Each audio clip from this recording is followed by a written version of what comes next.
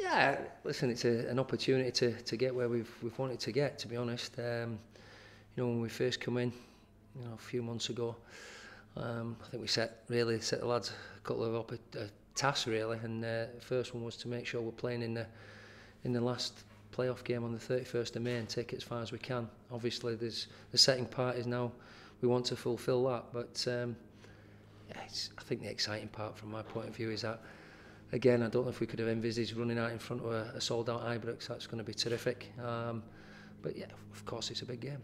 Do you feel you have what it takes to kill it? Sorry. To kill off the tie off?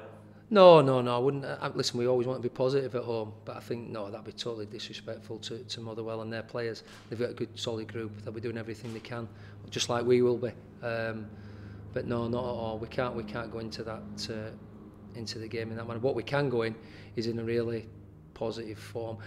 And, you know, the lads are a lot more refreshed. We've hardly done anything since the Hibs game. And I knew going into the Hibs games, there were a lot of them almost running empty. Now, it's as if they've had a little break and they're, they're raring to go again, so which is pleasing.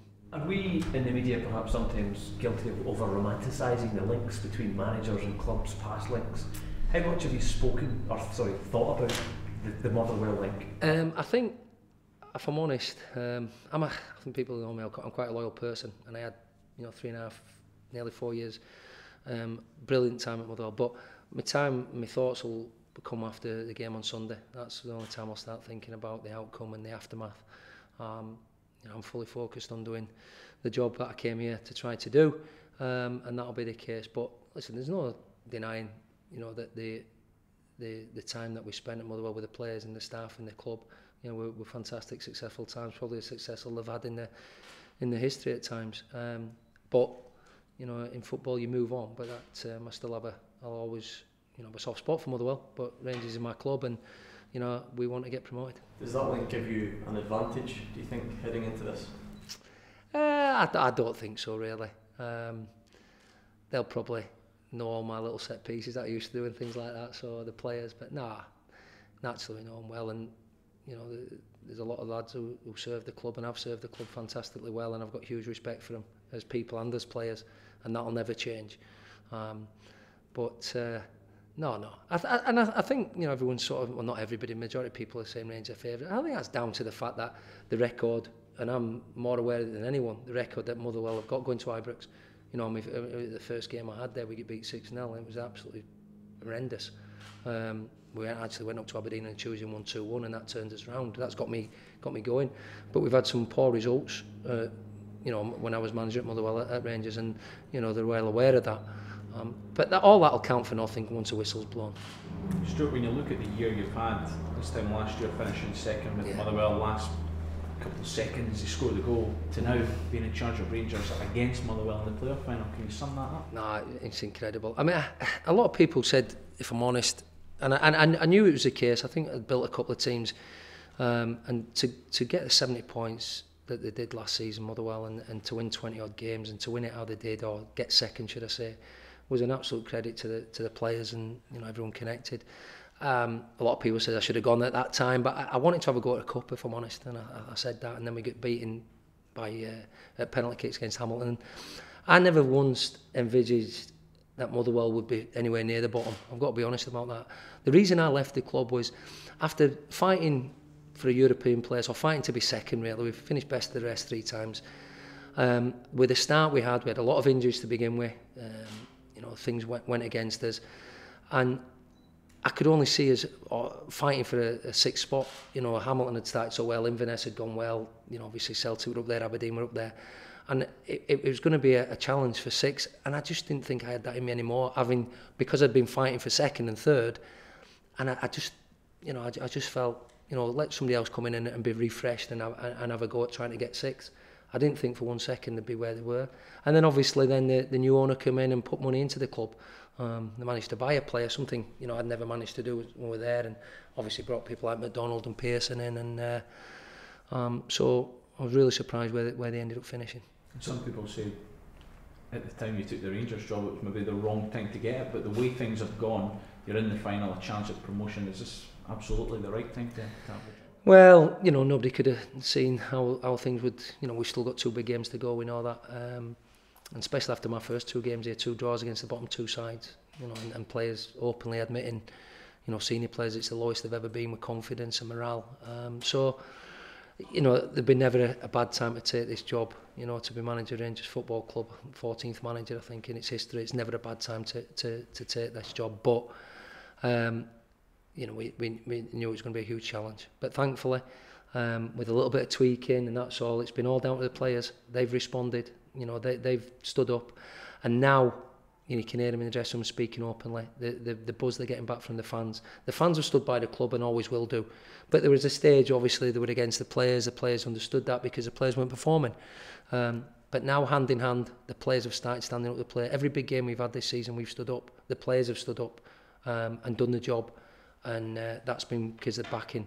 And I always say, when you've got players and fans in unison, you've got a great chance. How much confidence can you take from the Hibs game in terms of almost having a, a blueprint for these two legs? You know, win comfortably in the, a decent scoreline in the first leg and then making it difficult in the, the second. Yeah, um, listen, I, I, we know we, we, we certainly going forward and being creative and everything at Easter Road, we weren't that. But what we were, we were resolute, we were determined, we were dogged, we were together and um, you've got to find a way to get through. It's about we're, we're winning and, we're, and, and, and getting forward, which we did. Um, I certainly would hope we would have more of the ball tomorrow night, um, and hopefully we will be we will create more opportunities. Um, but yeah, the players have they're a different bunch now, you know, and that's what happens with confidence and, and results, and they're I don't think they can wait to get out there in front of a full house. You talked about the fans. I mean, Ibrox hasn't been a fortress this season. I mean, what is it the fans need to do to truly inspire the side? Well, I, I think it's been a fortress of late, if I'm honest. I think we, we beat Hibs, we beat Hearts, um, and we come back from two down against Falkirk. We, we got through against Queen of the South. I think it, it, it's a togetherness, um, and I think the players need a hand sometimes in the crowd when it, it's a bit edgy and tense. And likewise, when it's quiet, the players need to go and do something. We did that again. I can always revert back to the Hearts game. You know, the players were outstanding for the first half. We got out of 10 men. And it was the fans that carried the players through.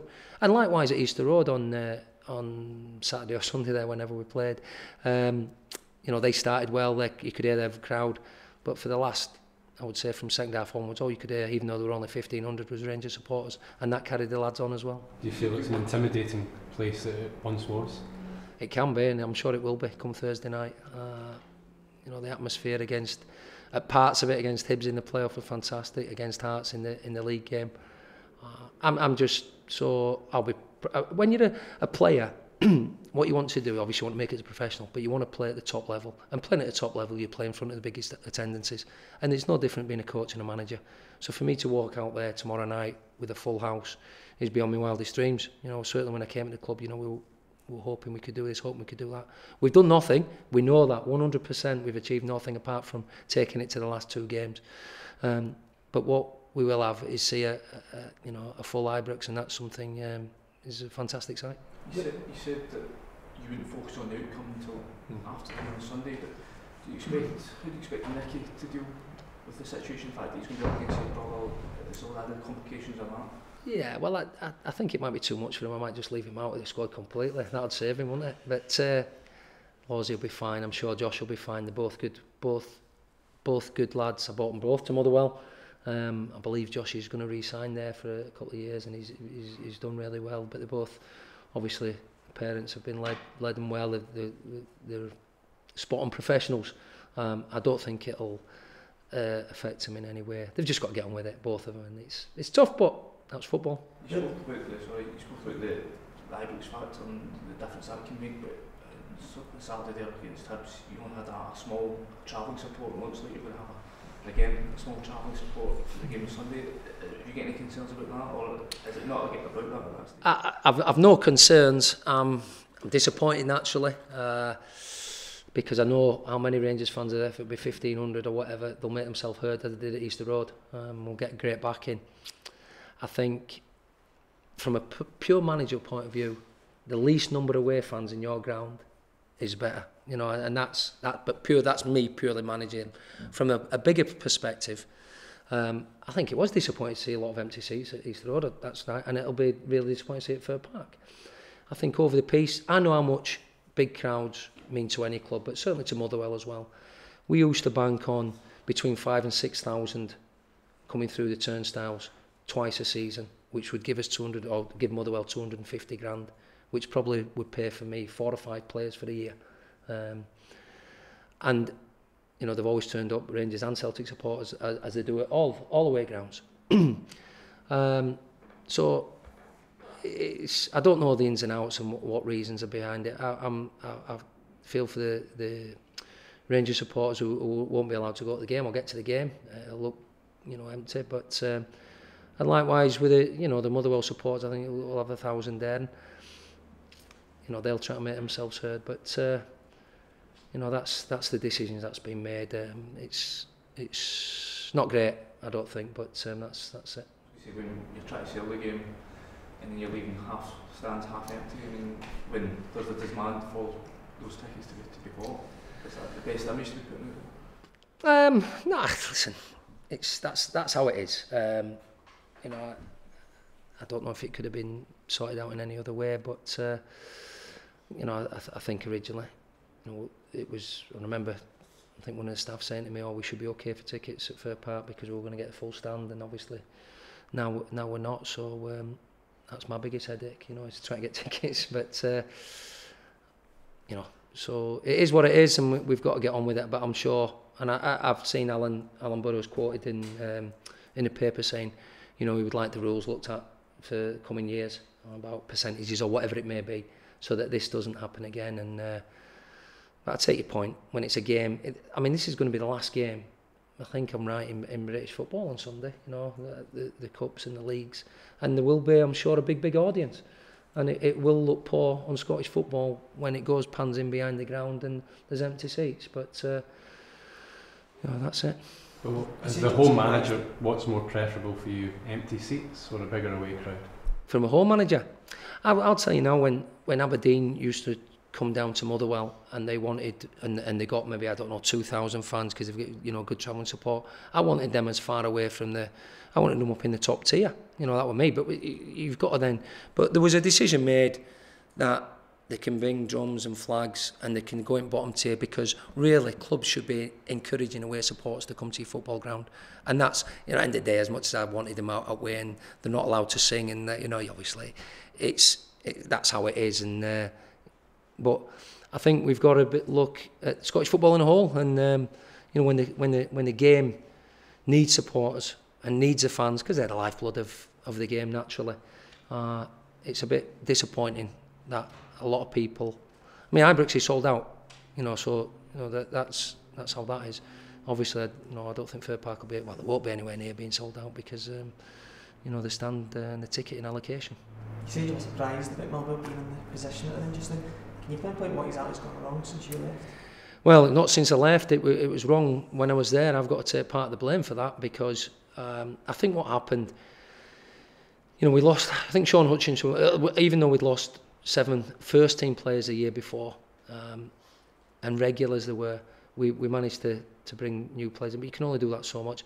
I think what really we started in the European games and we were 2-0 up at home and you know we, we got pegged back two two penalties and then we get beat over there 3-2 and we came back and it was a bit of a blow and we had a lot of injuries. The clubs have had probably unprecedented injuries this season um, Motherwell and that took its toll. And then I remember we went up to Ross County 1-2-1 and we came back and, and played at uh, Celtic Park and drew one each. Scott Brown got a penalty kick when he had outside box, but hey ho, we were at uh, Celtic Park. But I remember that thinking that could have been a turning point. Uh, and then it, it was just after we, we played the first quarter games, if you like, and we went to St Johnstone and got beat again. they should have won. I, I just felt it, it was a surprise to me, staff, Kenny and everyone. I just felt I didn't have the the um, sort of energy and the drive that I'd had before um, to try to get the club. I knew we wouldn't be able to get a European spot. Um, we were out of the League Cup, and I just felt it was um, time. But I, I think that, that we've normally got off to a good start, Motherwell, um, and the injuries impacted on them. Uh, so I, I, I think it's just been a case of that. And once you get in a um, a decline, it's hard to, to, to get out of it. I thought at one stage they had done with it. I think they won three games on the trot, but uh, you know they found themselves in 11th. You've always said um, that decision with regards to your future wouldn't be made um, with regards to whether or not you get the club up. But do you feel that the decision will really hinge on these two games? that's not for, for me to say if I'm honest. As I say, my my uh, my aim wasn't, or my uh, remit, should I say, wasn't when I come in was we have to, you have to get promotion. It was to try to change things around and uh, change the, I don't know, the, the, the atmosphere around the place and try to get the, you know, and, and when I look, you know, I think just having a, a full house tomorrow, um, seeing the difference in the players now, there's a bit of, you know, belief and confidence back in them. Uh, as I say, my remit wasn't you get the job, um, or you don't get the job, should I say, if we don't get promoted, um, because I think we all remember where we were when we came in. But also, likewise, it wasn't the job's yours if you do get promoted, and that's that's been the case in Liverpool. Given that, then sorry, I'll just finally. Given that, do you think you've done enough? Um, I might answer that on Sunday. But uh, I've, I've, I've enjoyed it. I, I think there's certain things I've been really pleased with, um, with certainly with, it, with, with a group of players. But I think the, the, the biggest um, plaudits have got to go to the players themselves and, and the supporters in, in, in together. I think they both got together and uh, still got two games to do. The you linked me Scott Allen this morning. Is that something you'd like to see at the club next season if you're the manager? Again, Scott is contracted to Hibs for another year. You won't expect managers, if you're going to be here or not be here, talk about another player. I think what everyone would understand and see, certainly in the Cup semi-final um, and the way he's playing played, is a, is a talented player. Uh, again, we talk about an agent and a, a newspaper, and all you need is a good agent to get a story in the newspaper, and everyone's talking about it. And that, that's happened. But he's certainly a good talent, um, but I'm sure Stubbs will want to keep him at Hibs. Sorry to jump back, but the sorry, just to jump back. Carol! the way this has all worked out for you, Motherwell to Rangers, what it comes down to, this is a ruthless business, isn't it? Listen, since I've been, I think, four year old, until I had a pair of football boots, not even football, anything I did, um, I've always wanted to win. And my kids will tell you that. I left them in tears at times when I beat them at Monopoly. Um, it's just just how I am. Um, and and just like I know Keith Lasley, Stevie Hammell, the lads there, Hammers, um, they'll be wanting to win. It's it's it's in me. I want to be a winner. Um, and as I said, life can be ruthless, football's ruthless, but it's just how this has turned out. But you know, it's Sunday and the aftermath, whatever happens, is when it'll hit me.